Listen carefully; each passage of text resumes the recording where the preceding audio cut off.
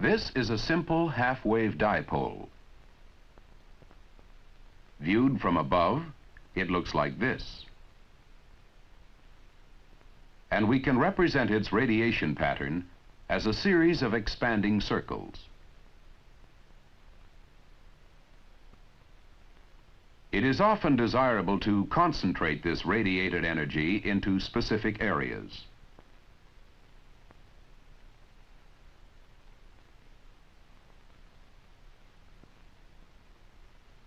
Other words, we wish to make the antenna more directive. To see how this is achieved, let us return to the omnidirectional pattern. Here, red represents the positive peaks and blue the negative peaks.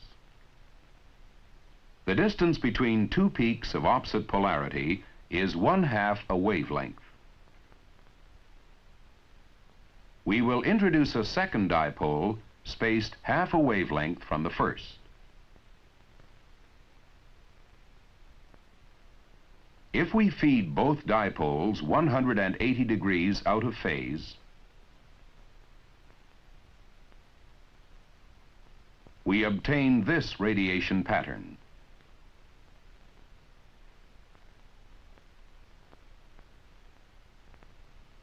In the plane broadside to the antennas,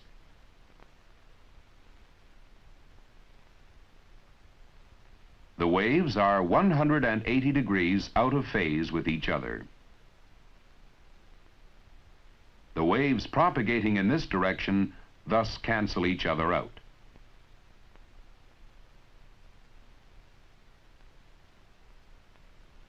Useful propagation has thus been achieved in two directions, by feeding the dipoles 180 degrees out of phase. If we feed the dipoles in phase, we obtain this radiation pattern.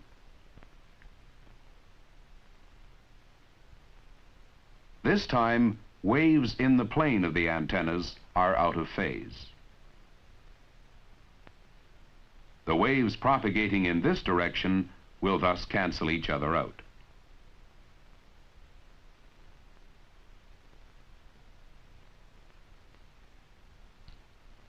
By feeding the dipoles in phase, we again achieve useful propagation in two directions.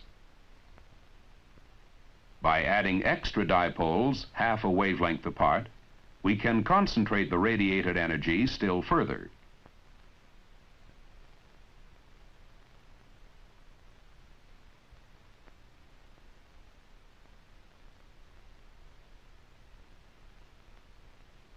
Let's now review how bidirectivity is achieved.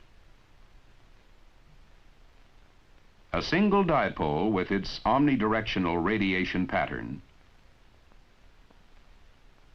produces a donut-shaped polar diagram.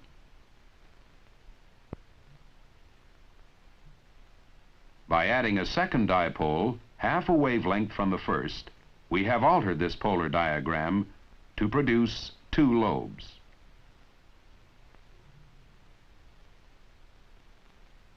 By increasing the number of dipoles, we have sharpened these lobes. To aid this presentation, the antenna size in relation to the polar diagram is greatly exaggerated.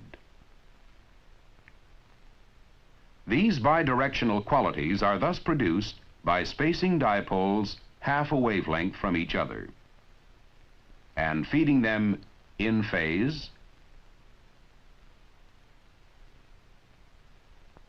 or out of phase.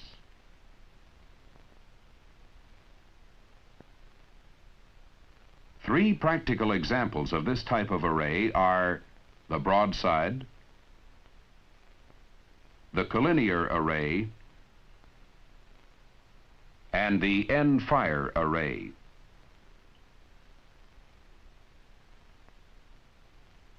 All these antennas concentrate the radiated energy in two directions.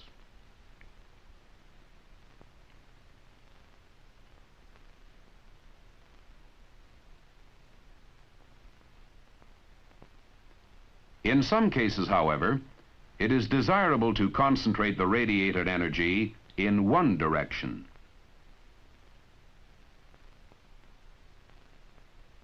To see how unidirectivity can be achieved, let us return to the simple dipole.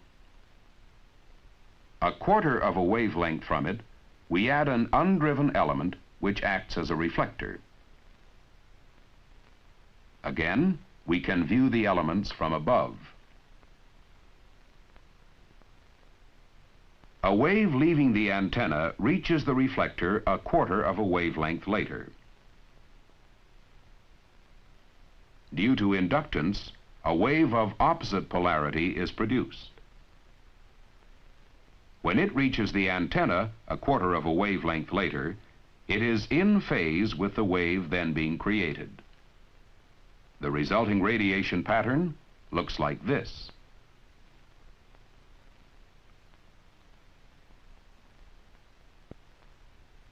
Notice that in this direction, the waves cancel each other out. While in this direction, they reinforce each other.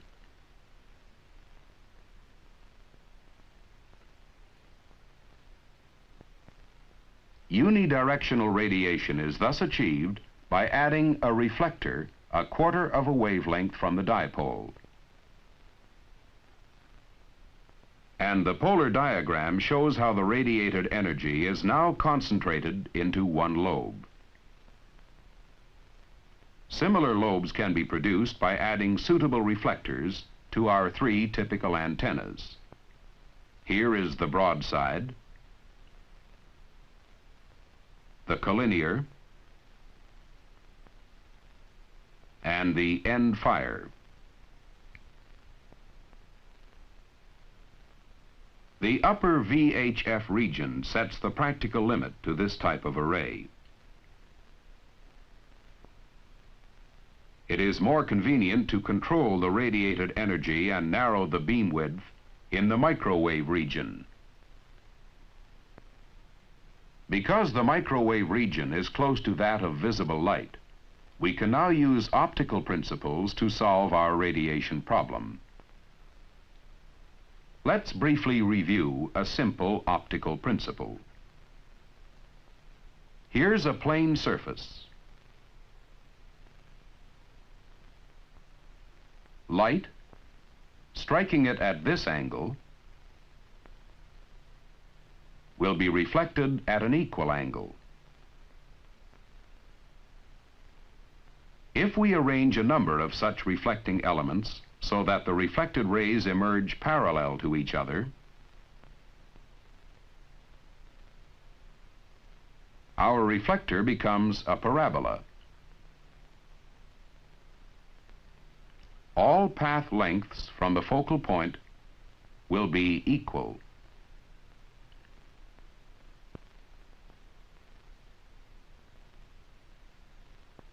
Energy will thus radiate in a plane of uniform polarity and intensity.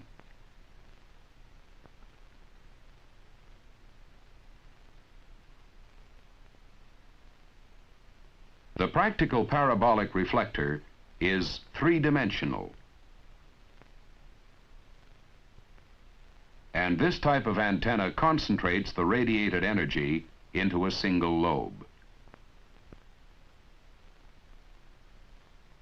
It thus provides maximum directivity for transmission with good capture area for reception. Other antennas can be derived from the basic parabola, such as the parabolic cylinder, the orange peel paraboloid, and the cosecant squared antenna.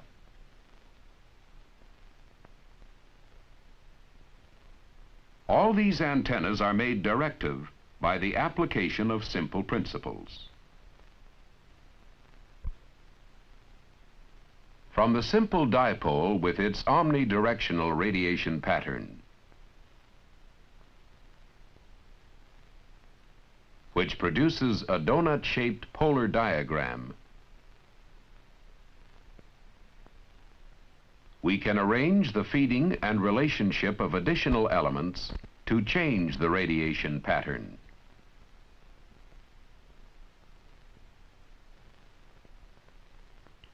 and produce a bidirectional polar diagram.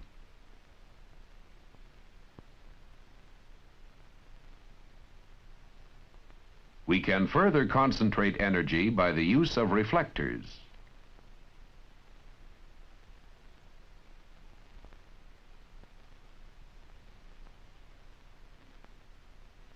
And a unidirectional polar diagram is produced. The application of these simple principles facilitates the design of antennas which concentrate energy and increase receptivity in the desired direction.